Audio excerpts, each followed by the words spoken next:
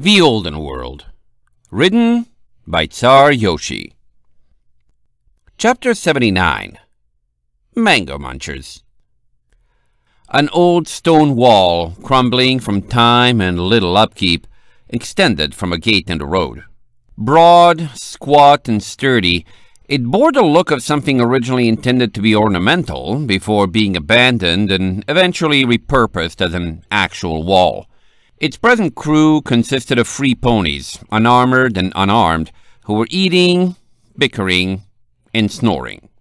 Come on now, Tarfeber, said one guard to the other. No need to hog all the mangoes. We're all friends here, aren't we? Tarfeber, a scrawny black Pegasus, reared away with a large stack of mangoes clutched tightly against his chest.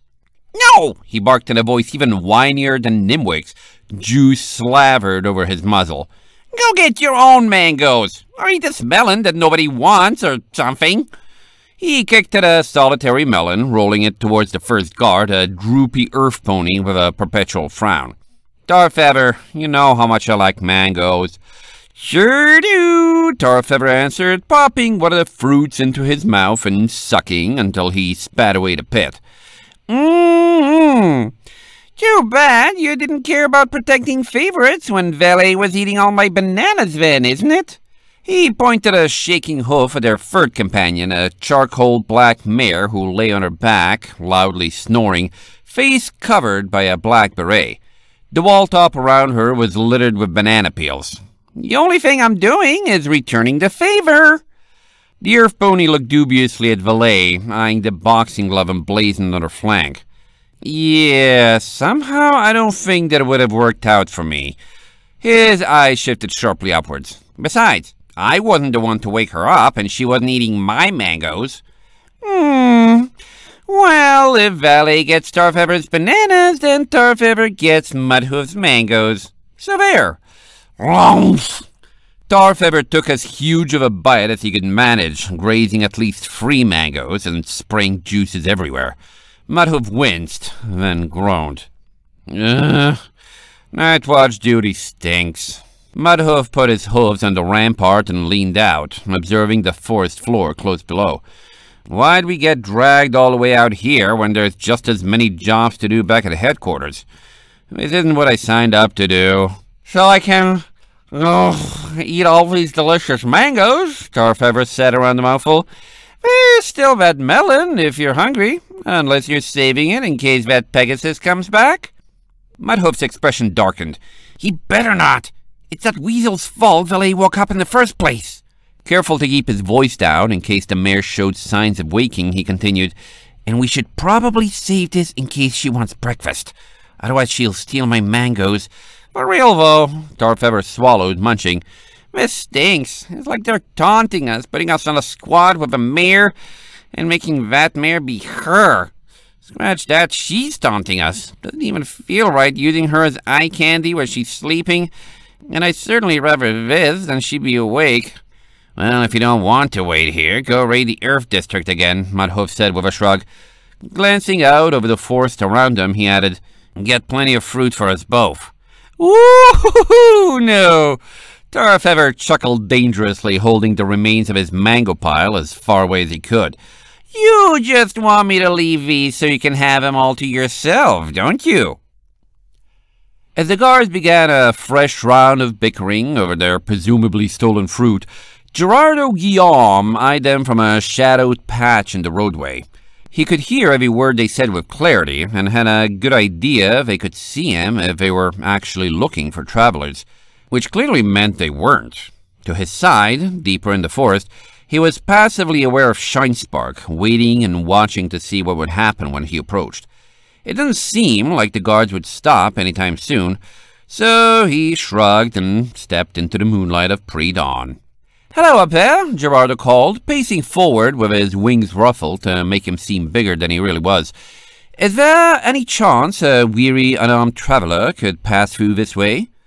Both wakeful guards were at the railing in a flash, Tarfeber abandoning his mangoes. They squinted. Is he? Tarfeber murmured, fearful. Nah. Mudhoof shook his head. That's a griffin. Definitely not the bird brain from earlier. Gerardo blinked up at him, pretending he hadn't just been listening for several minutes.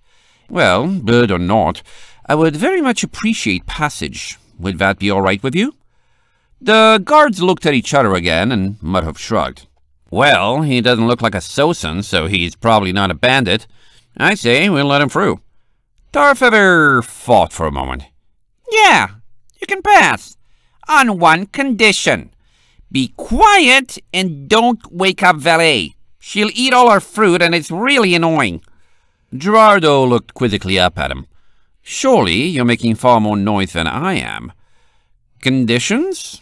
Mudhoof hummed, ignoring the griffin, and thinking as well. Oh, we'll let you through.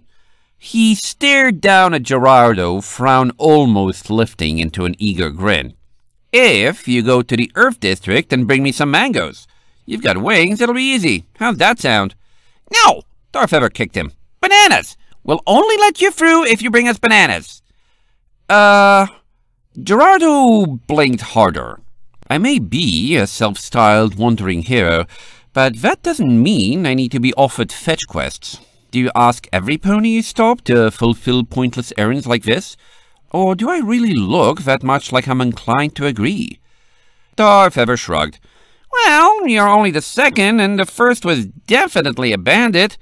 Suddenly, there was a disturbance in the bushes at the side of the road, the side where Shinespark wasn't hiding. Gerardo instinctively fell into a defensive stance as a figure leapt out, landing squarely in front of him, but their attention seemed fixed on Mudhoof and Tarfeather. Ha-ha! the pony crowed, flexing a pair of feathery wings. I knew you were just a pair of ne'er-do-wells blocking the roads for fun and profit. He jabbed a hoof as if making an accusation in court, then turned to Gerardo and bowed. Sorry you had to get dragged into their scheme, citizen, but fear not, I'll have this rebel cleared in a jiffy. As Gerardo backpedaled, Mudhoof and Tarfeather stared down, faces pictures of dismay. Not this again, Tarfeather groaned. Hurry up and do something before he wakes her up! The Pegasus glared up at them, wearing a righteous smirk. Okay, do-batters, it's time for round two, and you better know what that means. A silent spark of understanding passed between Tarfeather and Mudhoof.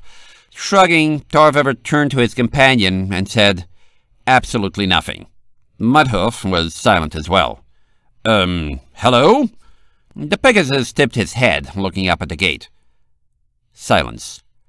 Maybe if we ignore him, he'll go away, Tarfeather whispered, just loud enough to be heard on the ground. Oh-ho! The Pegasus called back. Sounds like you guys remember me. Well, I may have been polite and accepted your judgment before, but no longer. Not when there are bystanders on the line. Tarfeather bit down on a mango. You think that Griffin needs your help? You think he wants it? Who even are you, weirdo? No, no, no, the Pegasus replied, still smirking.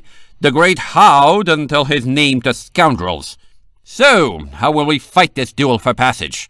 Singing competition or dance-off? Gerardo steadily continued backing away, entirely unnerved by the display taking place as he pondered the explanation that all of Ironridge was riddled with that much incompetence, Tarfeather hefted a melon, prompting How to squawk and cover his head. Ah! Not the fruit!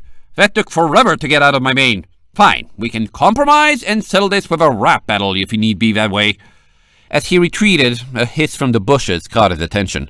Shinespark poked her head out, beckoning, and he drew closer. Is this... He paused, searching for words normal around here? Shinespark sighed. The blockade is obviously a prank. Anyone could walk right past, but will just get distracted arguing with the guards. And that Pegasus fell for it earlier tonight and probably wants revenge. Before you ask, there is someone in Ironridge who would set something like that up, and hopefully they won't wake up anytime soon.